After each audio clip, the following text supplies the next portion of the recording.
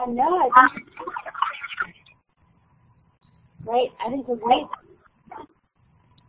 Okay, great. Well, I'm going to stop this recording for now, and then I will click it again uh, whenever we get started, and I will be happy to kick us off, and then I'll turn it back over to you.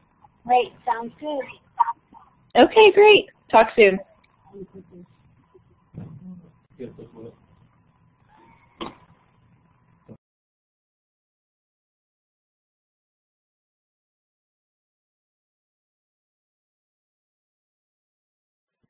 Hi everyone, welcome to iNACOL's March Teacher Talk webinar. So grateful you all could join us this evening. I will go ahead and get started as a few more folks continue to trickle in here. My name is Natalie Abel. I'm a program manager here at iNACOL, and I would like to welcome you to our Teacher Talk webinar on an introduction to maker education and maker spaces for teachers and education leaders. So before we get started today, I have just a few housekeeping items to go over with you. In the bottom left-hand corner of your screen, you'll see a chat box. I encourage you to introduce yourself. We'd love to know who you are, where you're tuning in from. Um, if you're a teacher and you're exploring maker education or you're just getting started, you know, we'd love to know at what level um, you, you know about maker education. And we'd love to know what schools you're from and where you're from all around the country as well. And with that in mind, please be sure to ask any questions you have in the chat box as well, and we'll be sure to save some time at the very end during Q&A and get those questions answered for you. So don't be shy. And we also encourage you to share what you're learning on social media. So, yep, Ashley just shared some information with you in the chat box, so be sure to uh, share what you're learning with your networks there as well and extend the conversation. And lastly, today's webinar will be recorded and archived, so we will send you a follow-up email after tonight's webinar, which will include the link to access this full webinar recording as well as download the slides. So you'll be able to refer back to this at any time in the future or share it with your colleagues and networks as well. So with that, uh, I'd like to quickly introduce our presenters this evening. Uh, we have Mary Esselman of Operation Breakthrough. And with her are two teachers. We have Kathy Ramirez, who is a lead teacher at St. Vincent's Operation Breakthrough. And we have Jadwin Rolls, who is a Smart Lab Education Coordinator at Operation Breakthrough. So with that, I promise not to take up too much more of your time, um, and I will now turn it over to you, Mary, to get us started today. Great. Well, hello, everyone. We're really excited to share some of the work that we're doing today, as well as learn what others are doing so everyone um, in the group can benefit. Anyway, so today we're going to talk about, we've actually been making um, for about a year and a half. We opened our makerspace back in the summer of 2016, uh, 2015. And we also opened our Smart Lab, which in, incorporates STEM and digital media arts uh, this past summer. So we've got lots going on. We wanted to give you some pictures right off the bat of just some of the projects that our kids have been working on. But I'm going to just give you a little bit of background in terms of um, what we're doing and the premises behind what we're doing, and then I'm going to turn it over to Jad and Kathy, who are going to actually take you through four um, projects or what we call launchers that have started just a stream of, of different works in our makerspace. Uh, so I'm going to just jump right in. When we started and decided we were going to enter into making, we started with the day of inspiration, and so we took a team of teachers, and these are just pictures that teachers collected on that day. We're from Kansas City, and so we actually took our teachers down to St. Louis, and we spent a day just investigating, exploring, just getting excited and inspired. So we required each teacher to do a Pinterest board, and then we visited the Magic House, we visited Tech Shop, we visited the Science Center, just to generate ideas on what we could incorporate in the space that we were getting ready to design. So as I move forward, I'm going to go ahead and have you all use your little poll button is right up at the top of the main room where it lists all this. There's a little checkbox. And if you could just take a quick poll and let us know, one, if you are already um, have a makerspace, um, just give us a big yes there so we can get a sense of where we are in terms of the group.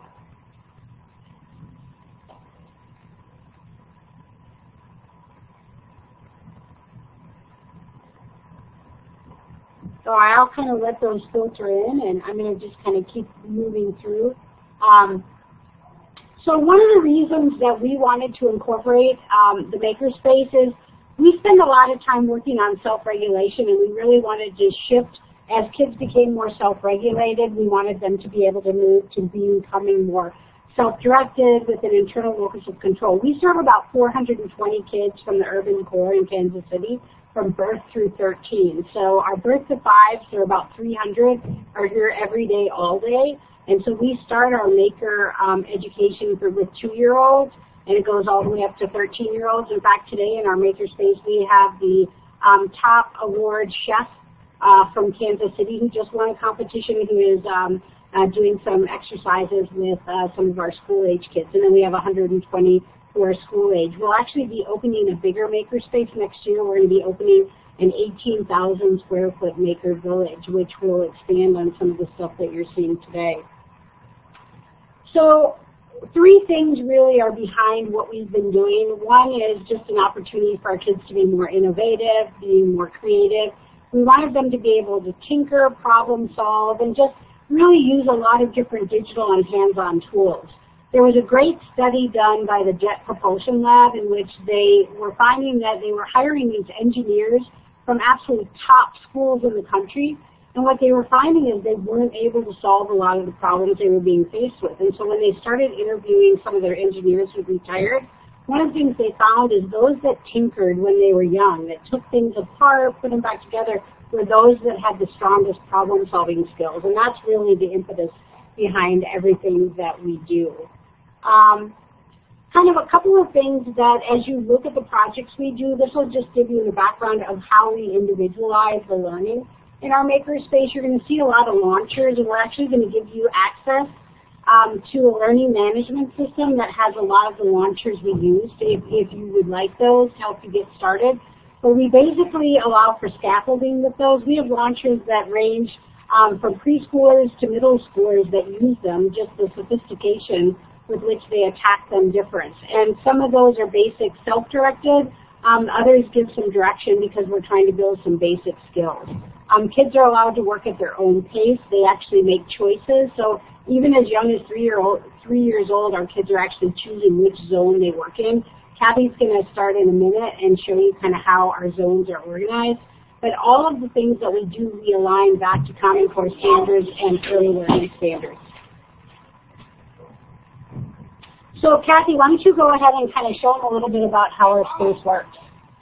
So this is our makerspace, and what we have in our makerspace are six zones, and what you're looking at in the first picture is kind of an overview of our space, and what you're looking into are the two big orange tables. The first one is where we do a lot of our construction projects, and this is our construction zone where we're able to build things. Um, the second table is our studio arts table, and that is where a lot of our art projects go on. Um, the big carpet area is for a large construction projects. Uh, there's a big bench right here in the second picture that you can see. There's a lot of construction materials that are not available in their classrooms that are um, just special items that they're able to explore. There's a lot of open-ended um, construction materials they're able to pull out and just they're able to build with and construct with. Um, right behind that table, there's the bench. There is a big table that has a, there's two sewing machines, and those are our, that's our textile zone.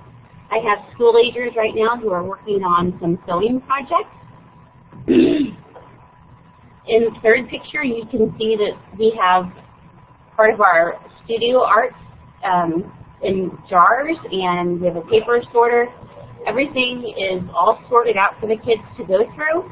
Um, that's just part of my background, how things are sorted out just because um, I really firmly believe that children need to have everything kind of sorted for them and so they're not, you know, it's not chaotic and it's very open and it's very um, clear for them to see what they need.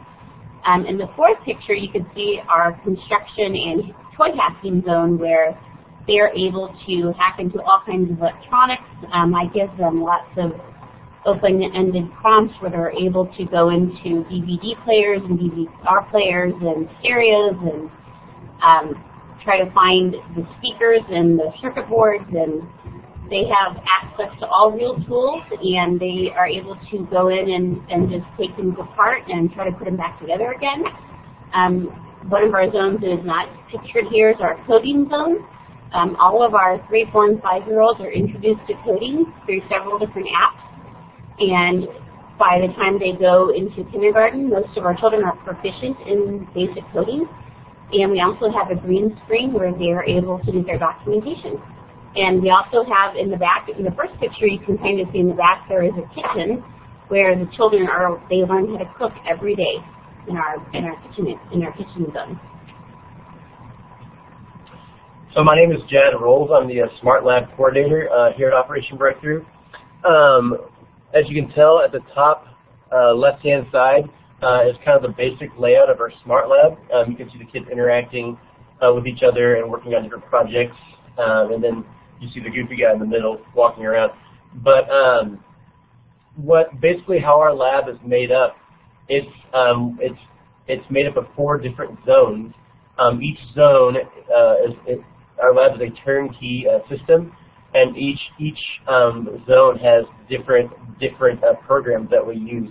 Um, so basically, what happens is, is they will start out in their first zone, and let's say they're working on a basic uh, uh, pre-web design program. Um, once the, they'll go through the learning launcher in that uh, web design program, and then they will go through and that, once they've mastered it, they will move on to the next zone. So really, um, each zone they they spend probably anywhere between seven to 14 days um, on one project, and then once they've mastered that project, they can move on to another one. And the the whole goal of of this uh, program is to get them to master every every every uh, program and uh, uh, uh, manipulative that we have in the classroom, and then they'll be able to be innovative and move on and, and create their own uh, projects um, from their own imagination. Um, our programs uh, cover anywhere between pre-graphic design, pre-animation, um, circuitry, robotics, uh, different different aspects um, of, of 21st century skills that we want to impart towards our kids. On the bottom left-hand side, you can you can see uh, two girls playing with a ball and, and stick joint uh, a manipulative. That is called the Zometool, and that particular um, activity they were working on building a bridge that uh, through a, a, STEM literacy activity uh, called uh, uh, through uh, for Three Billy Goats Gruff. And they, the goal of that activity was to build a bridge, to build a design that held the weight of a five-pound uh, troll, which is actually a robot that we had in our classroom. So that was after reading the story. And then on the right-hand side, you can see we have uh, several uh, storage units of all of our activities. We have K'NEX, we have snap circuits, uh, we've got Vernier uh, science experiment equipment that interface with uh, programs on our computer, and we have uh, Makey Makey, which is a circuit board that um, shows that is another circuitry unit that you can connect different alligator cords to and turn different uh, conductive materials into basically a, a, a, keyboard. So you can turn fruit into, uh, into a piano that interfaces with a, a, program on Scratch. I think one of the things that um, has been really powerful for us is the connection between the two spaces. Down in the makerspace, kids are really using a lot of recyclables. They're um, having opportunities to really create based on those launchers. So, for example, um, a self-directed launcher might be something in the wind tunnel, such as how do you make a straw fly, or how do you build a parachute that stays inside the tunnel. So kids start to learn early those principles of drag and lift.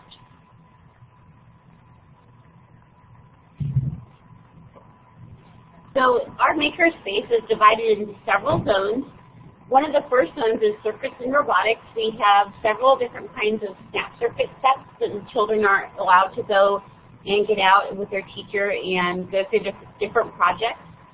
Um, we also have coding and programming. Again, the children are learning the basics of coding so that whenever they get to kindergarten, they're ready to come up to the Smart Lab with Jad and begin on like scratch and start writing their own programs. Uh, we have studio arts where they are, um, I was an art teacher for 10 years and so in the studio arts, it's more about learning um, art techniques and learning how to use paints correctly and how to do um, open-ended art projects. Um, in our construction and toy hacking, we have all kinds of things that we've been doing. We've built our own conveyor belt systems. We've gone in and we have Lego challenges where they have to construct a little city, where they have to design their own, right now we're working on our own kind of um, a, a neighborhood with boxes.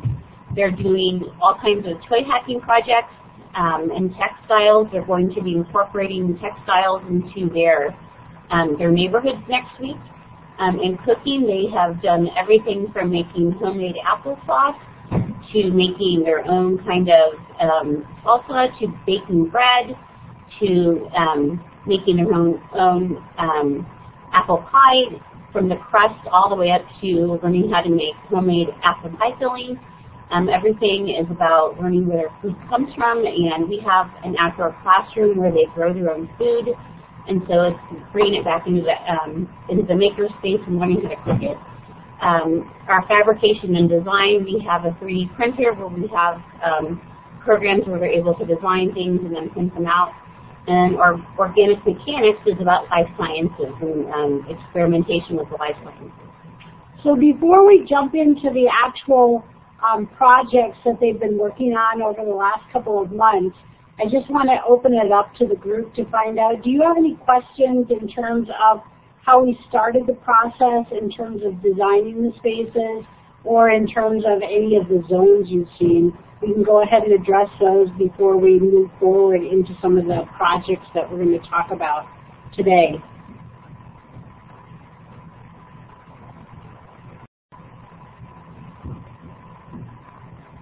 All right, well, while you're thinking about those, oh, go ahead. I think someone's trying to talk.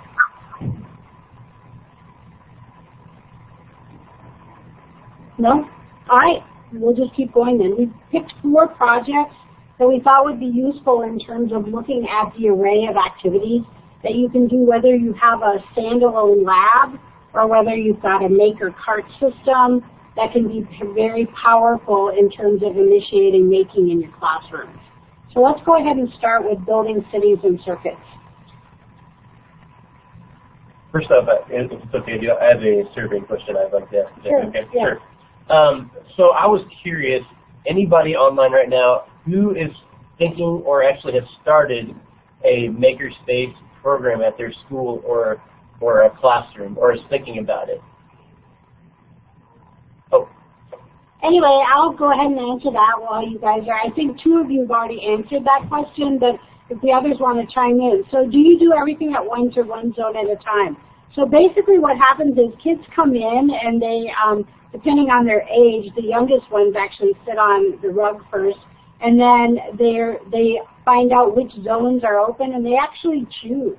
So they have 90 minute blocks in the makerspace and they are able to actually choose which zone they're going to go to. I would say early on kids tend to rotate a couple of times during the 90 minutes, but kids that are really engaged in something will spend the entire 90 minutes on a project and then return to it in subsequent classes. do we have any other questions? Okay, then we'll go on to building cities and circuits. Um, so we began we began in the maker in the makerspace in STEM lab with reading Iggy Peck Architect.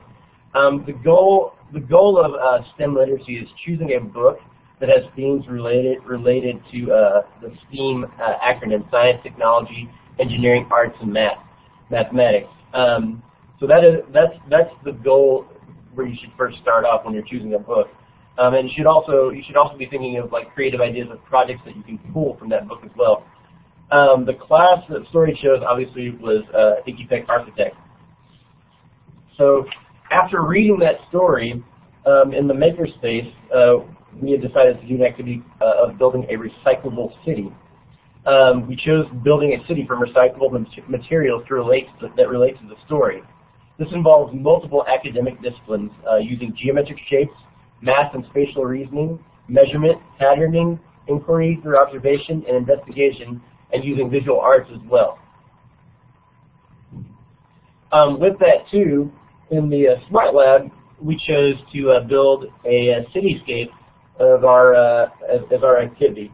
So with the cityscape, we combine two different things. We can we combine uh, building circuits and uh, also being creative and looking looking at cityscapes. Um, for instance, so with circuits, like our students learned uh, the basic parts of a closed circuit using a uh, LED light bulb, um, copper tape, and a lithium battery. Uh, and we just we went through the understanding of how electricity works. And we started with pre-K up through uh, kindergarten and first grade. So our kids have a very, very good understanding of where electricity comes from, what produces electricity, uh, not just from a battery, but also in their community from a, a power plant.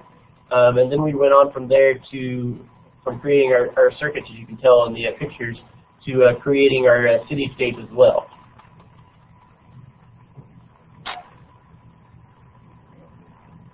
Okay, as you can tell, um, our kids got really creative.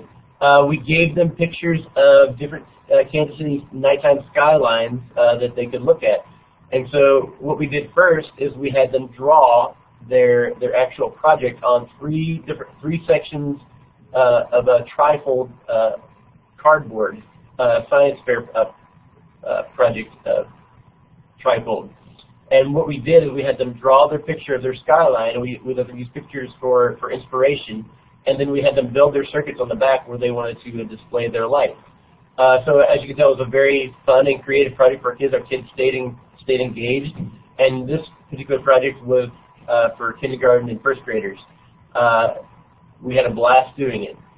You know, a couple of other projects some of the older kids did is after they learned about circuits, um, we had one student who decided to just start designing a prosthetic using what he'd learned through circuits. We had another student who designed a large ornament that was um, used copper wire to um, produce lighting, and another student that used tin foil and circuits to create a dance gen um, gaming system. And then even um, from the movie Big, our youngest students actually created paper pianos and then hooked in the circuits and um, used it to actually play music by stepping on the keys. So we've been able to do all kinds of additional activities just based on that initial simple idea of teaching kids about circuits and then allowing them to progress based on different things they had read or different video snippets or other things that um, they talked about. And it gave them that freedom once they had learned the fundamentals, you know, to have two, three, or four weeks even to just become um, more engaged and develop their own ideas. I saw that question that someone had asked about, you know, how did we design the spaces? So we did that day of inspiration. Um, and then when we came back and kind of collected all of the Pinterest boards and the ideas, we then drew out the space and did some space planning. And then on the course that we're going to give you access to, we have the one-pager that we use to fund it.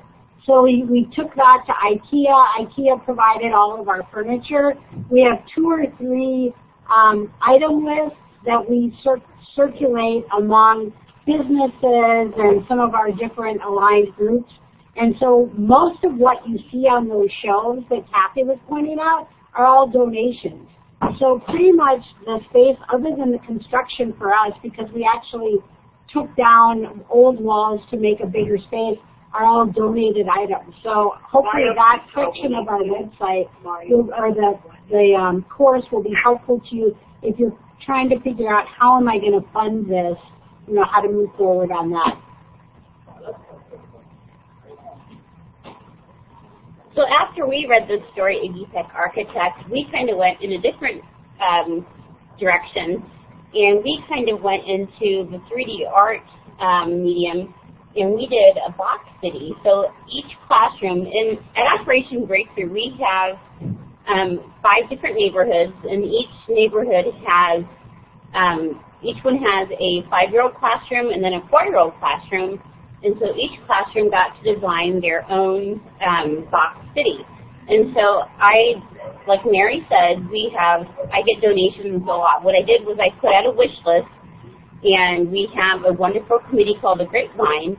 And so everybody took a wish list back to their their own neighborhoods, and then they all copied it. And we've been getting lots of donations, and so I save these donations up, and this is what happens. And I give these children tons and tons of tinkering materials, and they got to talk to each other and negotiate and collaborate, and they design their own cities. And so the first step was to go through and plan out their cities and some of them put bridges, some of them put high rises, some of them put lots of buildings, and they put all kinds of detail into them, and they had the best time of just designing the city. And so the next step was they got to get the paint out, and so in the next slide you'll see, um, if you want to, advance it, you'll see that they got to decorate. And so after they they had a whole week of painting, and we got lots of textiles out, um, all kinds of fabric and ribbons, and they they had the best time. And one thing about our makerspace and the population we serve is we have a lot of children who have um, they have a hard time with their self-control and they have a wonderful time in the makerspace. And I do not have the problems of behavior issues. And this kind of activity captivated them, and they were so passionate about these cities because they were their own creations and they they loved them. And so they they were so proud of their work. We displayed their cities up in the front lobby of our school for almost over a month because they would show everybody who walked in the building their full box cities, and every classroom got to name their city, and we had it and like, elevated it in different different locations. And one of our students actually made this giant spaceship to guard over the cities, and um, it was a fantastic way of um, just showcasing the artwork and the hard work and dedication. I mean, the perseverance of these students was amazing. So it was, it was a really great experience for them. I think what was interesting is when you look at this, um, the cities they did with the actual recyclables, now kids are going through the process of using Legos and other tools, um, using software to do some design work, and then using those to build larger cities. So we're seeing whether you're working with four or five year olds or you're working with 12 and 13 year olds, you can see applications across the grade levels um, from just emerging from one simple story. These are the launchers um, that we use across the board, and these are in the course if you'd like access at the end. The launchers really have, um, not only do they show a prompt and the materials that are needed, but they also have different standards that they're aligned to, so you can see across the curriculum. They also have visual prompts. Our goal long term is to actually create audio prompts as well so that it continues to individualize for students so that they can go off in directions that they're interested in as opposed to just doing those that might happen to be out at any given time.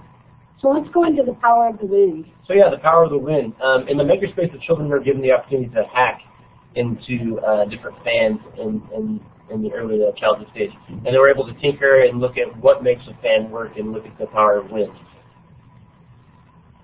Um, next you can see here, uh, this is a, a, a student that we had, uh, as, as Mary was mentioning before, uh, our Lego WeDo uh, education program. And as you can tell, he's building a, or maybe you can't, uh, he's building a, an airplane that uh, requires the use of, of, a propeller. So this is a great example of how we incorporate design and coding, pre-coding skills with our students. This in particular child, this particular child is five years old, and what he's building is an airplane. And uh, the program itself gives you step-by-step instructions on how to build the design, but he actually didn't uh, follow every step. He modified and uh, used his own creativity to build his own propeller at the top, a little bit longer actually, and put a man uh, flying around on the actual propeller itself. Uh, the neat thing is uh, you know, he used his own creativity and was able to to code and make it work. So, and he's been one of the few actual uh, preschool kids who've actually been able to be successful in creating that design and actually making it work. And as we go to the next slide, uh, we have the story. We again we have a, uh, in the Smart Lab we chose the story, uh, the boy who harnessed the wind.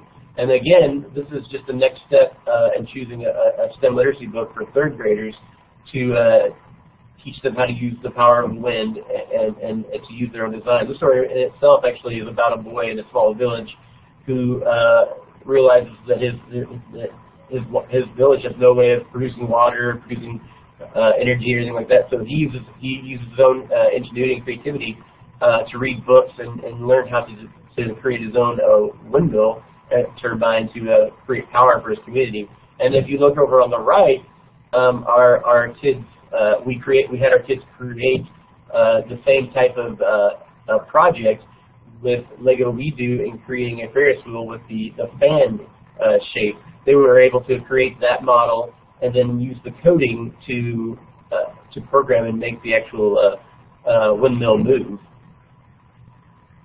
And here you can see we have a our, we have our launcher that we use uh, for our kiddos um, in, in, our in probably third through fifth grade.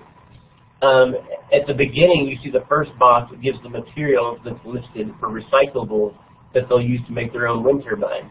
And then as we go on uh, uh, to the next uh, arrow, we get to the next uh, box. It gives you it gives them the prediction um, on the very top right hand side there. It gives them the prediction, and the prediction is how many washers can your wind turbine pull. So the, the goal was for them to build their own wind turbine and and to find out which wind turbine actually holds the most washers that's being, being held by a string by the fan and then they get an example uh, down at the bottom right-hand corner, and then they are given a challenge at the end that says, can you change the shape of your blades of your blades to catch more wind? And so that that's interesting because you know the kids are challenged to create and find a, a different shape or a different way that they could turn their their blade that would catch more wind and in turn carry more weight for their wind turbine.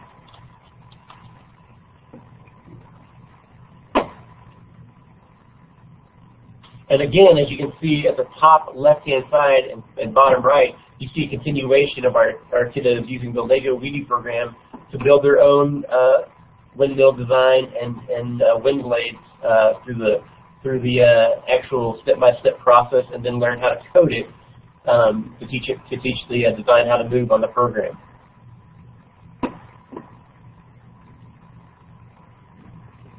So one of our favorite um, activities in our in the makerspace is exploration of our wind tunnel. And so we have three, four, and five-year-olds understanding the principles of lift and drag. And the way they have, that we've accomplished this is that I've given them so many different kinds of prompts that um, allow them to build different kinds of models and then test them inside the wind tunnel. And they are able to see in real time how lift is created in the wind tunnel and how drag is created whenever we add too much weight to something and how we capture the wind. And it is the most creative process because they're allowed to go back and experiment and try and try again. Um, and they're also, um, they, they're just given these challenges.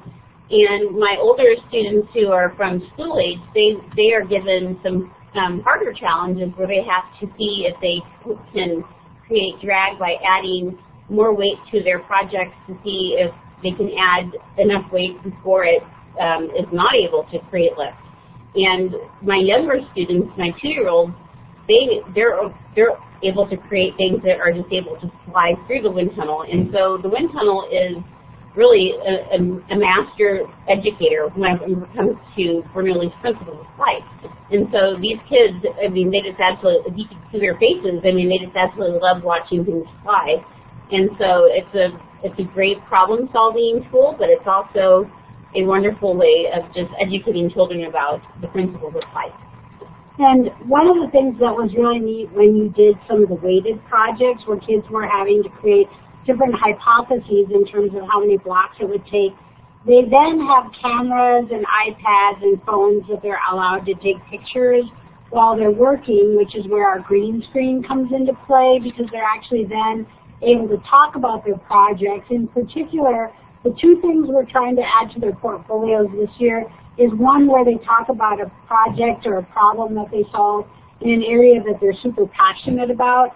And the other is to really just walk through a problem they had and then what they had to do to actually solve it. And those are their two portfolio entries that they will have this year. Again, here's a couple of launchers. We just stuck these in so that you could actually um, take a look at these after the session because you'll have access to um, the PowerPoint. And these those oh, launchers also have um, these are the ones that I've tied into Common Core standards, so you can also see how these are very applicable to the Common Core um, system. One of the things that we found is we get a lot of volunteers, more so in the makerspace and the smart lab than even sometimes the classrooms. And so on the back of these launchers is um, are, are all of the standards that are noted, but they're kind of translated for volunteers so that when a volunteer comes in, they actually know what's the end game of having kids build something or offering a certain prompt. Pat, please call 126. Pat, call 126. In, I was going to answer that question. I saw a question that asked about how we balance makerspace time and uh, science time. Uh, how we do that is we, we, with each classroom, we have scheduled throughout their day or throughout the week to come in one time a week uh, to the makerspace and the STEM lab uh, to spend uh, 90 minutes in the uh, makerspace itself and then an hour in our STEM lab. So we actually go through and we work around the teacher schedule um, to make that happen for all of our students. And then we have a before and after school program um, that in which we partner with other schools around the uh, city in which we have uh, other students come in and actually uh, uh, use our, our makerspace and smart lab as well about two hours every day. One of the things that's kind of interesting is we're participating in this Malaysian exchange project. Right now we're um, some of our upper elementary and middle school students are actually exchanging videos every two weeks with a classroom in Malaysia. And so we just finished our first Lego League competition and some of the boys created a video and as one of the boys was describing some of the work that they do in the lab, he said, you know, it's kind of like school, but it's harder. And, uh, which I thought was really interesting. And then he ended up by saying, and it's really great, even for kids who don't like school. And I think if, if there's anything that I can stress enough in terms of what we found over the last 18 months, is that even our kids that seem the most dysregulated or have um, challenging behaviors in regular classrooms are able to come in and actually persist for 90 minutes without even blinking. And we see that with five-year-olds and we see it with 12-year-olds. Um, there's something about the opportunity to really explore and tinker and and just create um, without the confines of do it this way that just brings out the best in some of our kids who don't thrive in a traditional classroom. All right, let's go into um, bread baking. So our kitchen zone is one of our favorite zones to be in. And this past winter, our children went through an entire um, bread baking um, course. And so they learned how we use yeast to bake bread. And so they got to go through the whole process of learning how yeast is, we activate yeast, and they started with bread in a bag, and then they eventually moved on to learning how to make their own bread. And so what you see in these pictures is the children are involved in every single step. They measure their own flour, they measure their own yeast. Um, they get to activate it by adding their sugar and their warm water. And they knead their bread, and so we ended up baking all kinds of bread, and they they loved it. And so they knew that they had to add their warm water because the yeast would have to come alive, and they they could tell everybody about how to make their bread. And so we we evolved that into baking different kinds of bread. And in the last picture, you can see one of our little girls painting an egg wash on some challah bread. And they learned how to turn a, a bread recipe into like pizza crust and all kinds of different things. And so they were, I mean, they were calling themselves bakers. They were very passionate about it. They they would come in right away and sit down, and because they knew they had to let their yeast um, activate for at least 15 minutes, and um, they they were pretty pretty much experts by the time they were finished, and so they knew the smell of the yeast if I had it already um, started activating before they would come in. They they were they're very much experts. So they love they love this activity, and so that's one thing that they've always they're always asking is when when are we going to bake bread again? And this is one of the recipes uh, for the rustic French bread that they made, and they they were so proud of themselves. They they were bakers, and so they they did they baked their bread.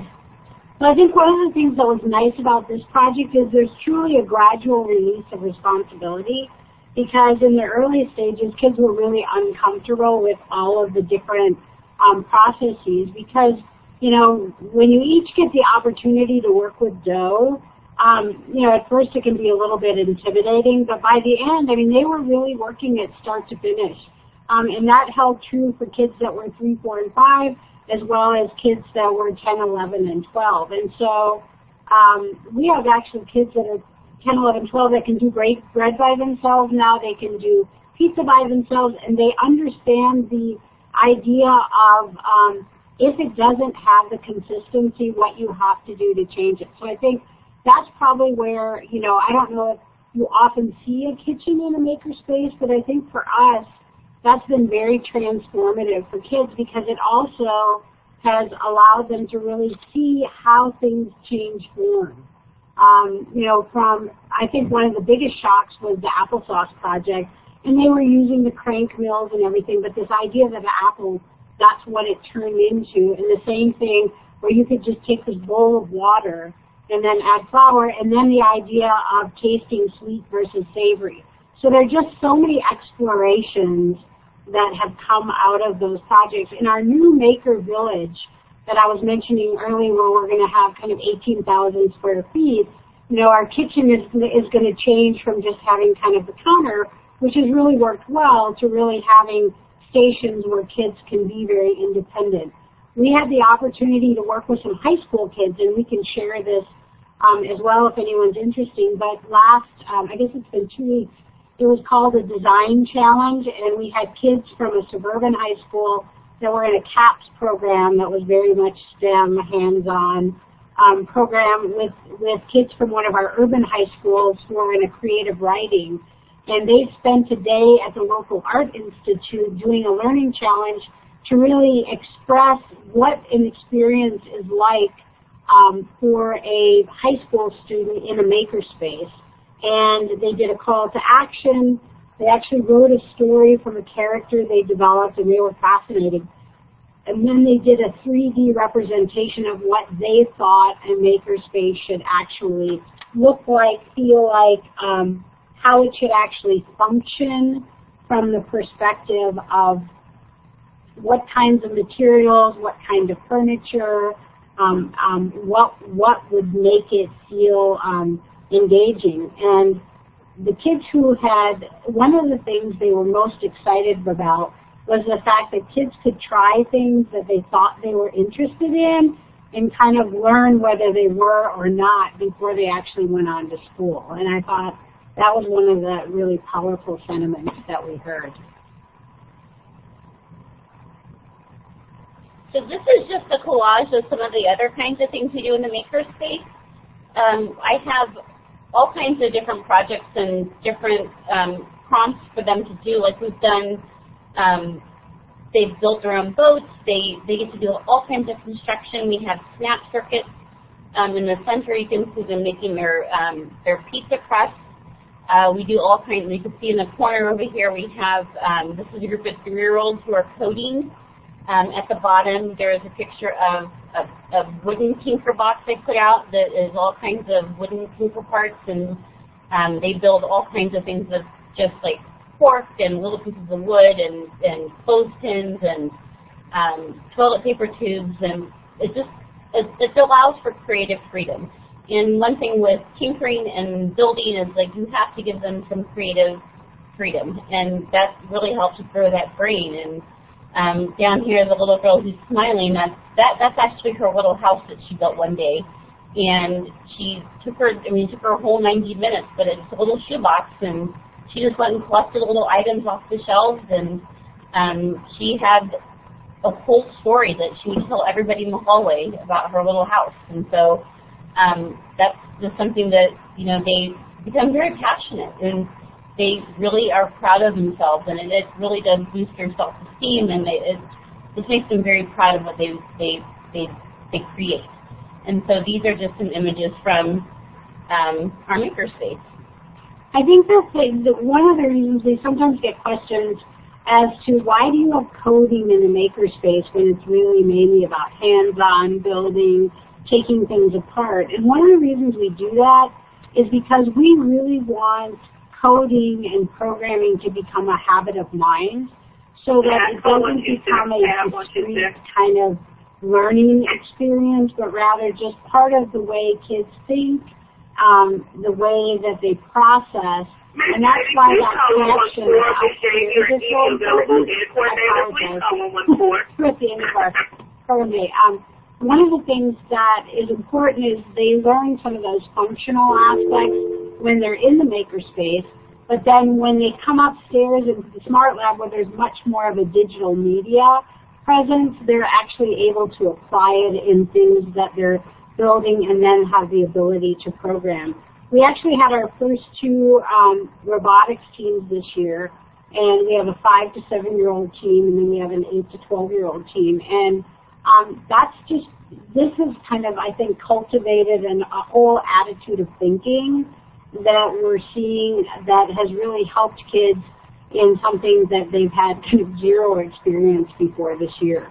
So I think at this point we're ready to open up and just kind of have some dialogue because I know a couple of you indicated that you actually um, either are starting on a makerspace or you have a makerspace. So to the extent that we could just have some conversation and also answer other questions about um, some of the launchers that we do or how we've designed the space, that would be great.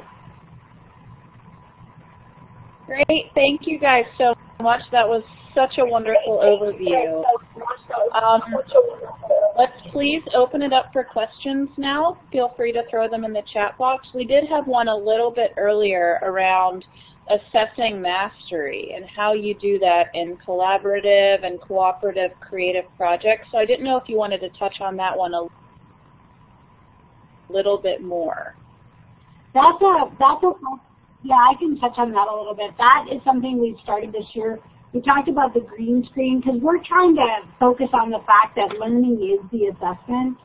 Um, and so having kids help participate in the documentation and then and then really that whole communication piece of can I actually articulate what it is I'm doing, where I had some stumbling blocks and, and how I was able to solve those. So that's been our primary um, medium for doing that. And then we have set out to begin to use the ENGAGE standards, which really look at technical proficiency. They look at communication and collaboration um, and creativity uh, as, as a means for us to begin developing a rating scale for things. So that's kind of how we're attacking the mastery piece. The Smart Lab system actually has, um, because it was a turnkey, it has a a journaling feature for kids, and then it has assessment rubrics where kids assess one another in the projects in terms of their participation, um, the extent to which they were able to successfully reach their goals. So we have kind of that informal piece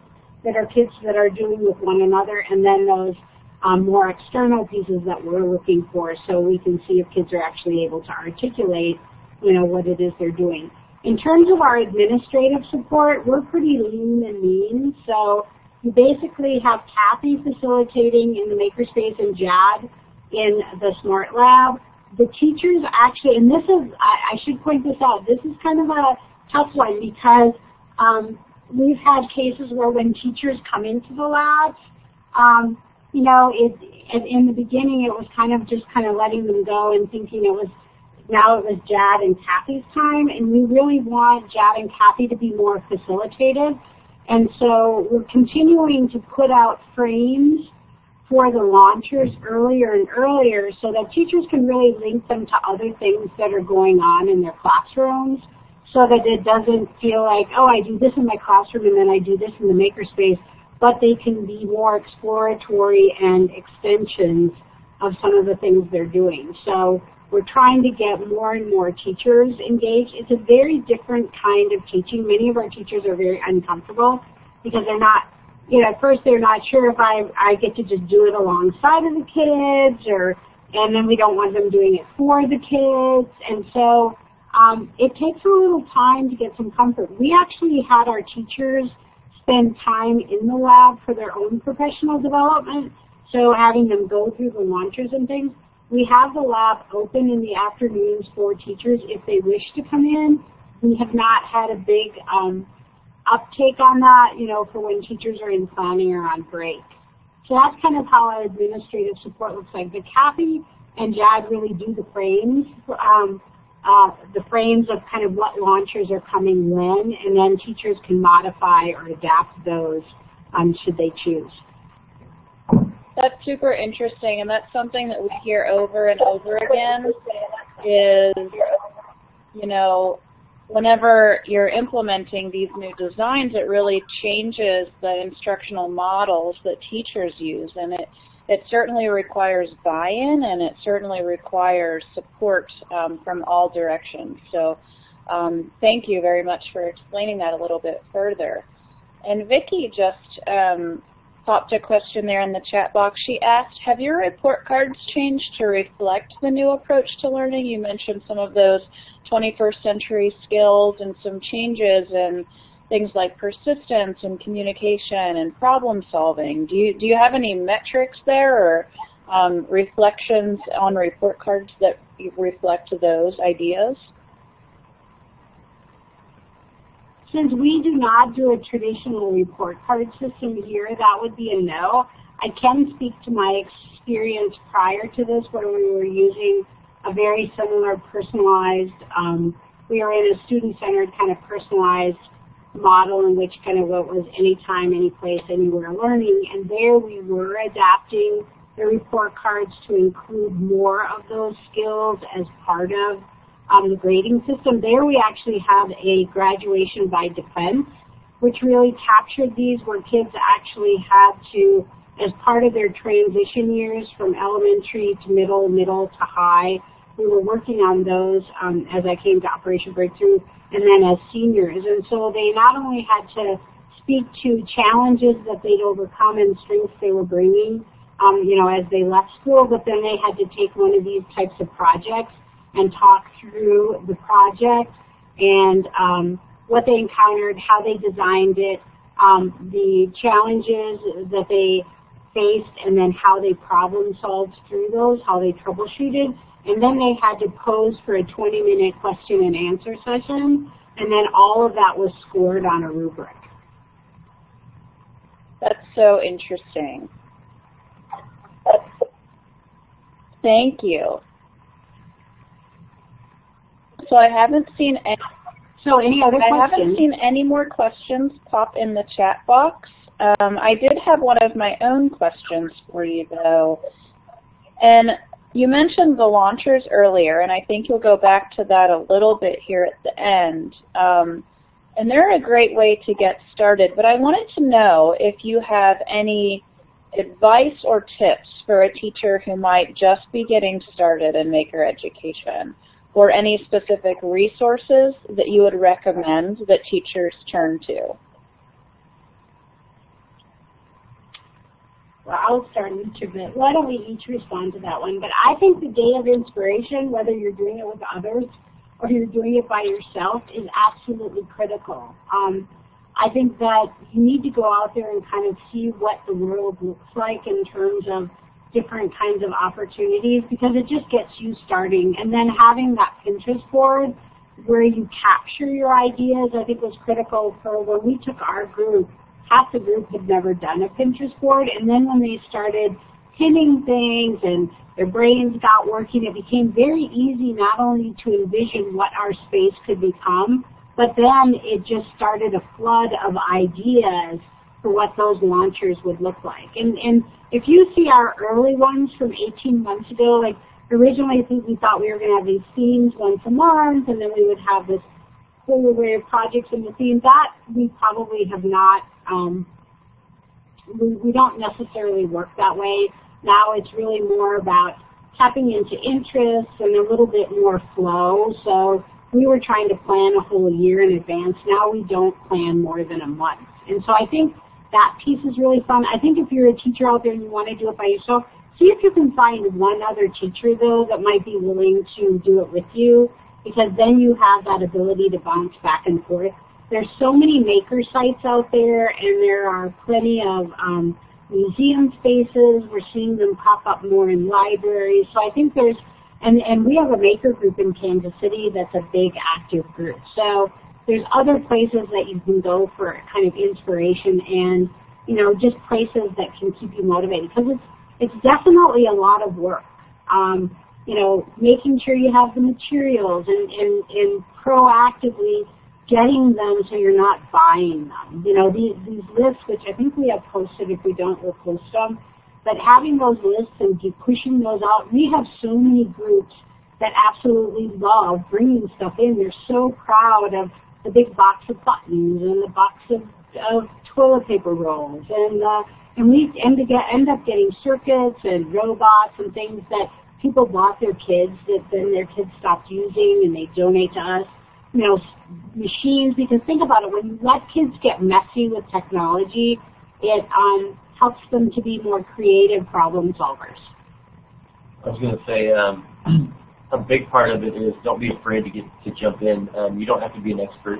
You don't have to be a, a technology guru. You simply uh, want to get messy. But uh, uh, one of my best friends has been Pinterest, like Mary said. Uh, Pinterest, Pinterest, Pinterest gives you tons of ideas um, and STEM ideas and maker ideas uh, that you can uh, share with your kids. And uh, one last thing, um, as Mary said before as well, uh, it's it, it, we kind of we kind of follow the interests of the children. Um, the kids themselves come up with great ideas, and you just all you have to do is piggyback off that, and more than likely they're going to come up with, with their own uh, creation. Um, so it's pretty it's pretty impactful and pretty amazing to see what the kids can do um, as they as they're learning and growing, what they've mastered projects, and how their creativity just kind of grows from that. And my suggestion too is on Facebook there are lots and lots and lots of maker space groups. Um, there's a Maker Ed group that you can join that will give you lots of ideas, but they also are a support group, and they will talk you through anything. They will give you ideas. Um, there's a lot of sharing that goes on, and um, but there are several different sites on Facebook that you can go onto that you, it's just a lot of maker spaces um, all, all around the world, and so it's, it's just a really great asset. So that's what I like to do. Um, I like to talk to other makers that way, maker ed, um, education coordinators that way, and we just um, chat and we talk about what we're doing and um, just get different ideas off of each other that way. I think we lost Mr. G, but I was just going to say in integrating into your general classwork, um, I think the books have been huge for us. On the learning management course that you're going to have access to, we have like 20 or 25 books that are great launchers um, into projects. Oh, that's an easy one. Um, to answer Vicky's question, I just have a, a, a pretty vast background. Um, my mother was a, a, a scientist, and so and she was also a, a Girl Scout leader growing up, and so she taught me how to cook and sew. And I just have a coding background already. I, I can pick things up, and so I just kind of a, a, a jack of all trades. And so this was a, I taught art for 10 years, and so this was kind of a perfect fit for me. And so. Um, but if you're not, yeah. you know, if you're not, that would definitely not um, hinder your hinder you because we have when Kathy's not there and teachers have to facilitate the spaces. We have volunteers who've never coded a day in their life that take over the coding zone. Our kids haven't sewn, but they're out on the computer finding templates for patterns. So don't let that stop you at all if you're not an expert across the zone. Um, we actually do have several books that we've gotten, so we'll put that on as well for John Paul um, on that course. So if you email us, you'll notice our email addresses are here. We will give you access to the course where you can kind of go dig around. It's got everything from how we designed it to sample launchers to books, and we'll add the books that are more teacher books, you know, on thoughts about making that we, because we're constantly trying to grow ourselves. Awesome. Well, I think that brings us about to time. Uh, and I haven't seen any other questions pop up. So I would just reiterate, you know, please contact our presenters today. This is such a fantastic opportunity to have access to a lot of the tools and resources you need to get started and bring some of these projects alive in your own classrooms and schools. Um, what an amazing presentation. I I deeply appreciate uh, Mary, Jad, and Kathy, you guys spending your time and sharing your expertise with us today. It was, it's fascinating what you all are doing for kids, and and I was really struck by your conversations around how it's changed students on, on these ideas of engagement and persistence, and kids who've experienced behavioral issues and and now they're just so engaged in their learning that you don't notice those things as much anymore as issues. So um, it, it's just really fascinating, and I just truly thank you for your time and for what you're doing for students. So um, with that, I think we will close tonight's webinar. If you have any final remarks, please feel free to share them in the chat box with us. And be sure to find us all on Twitter and email us if you need anything else in the future.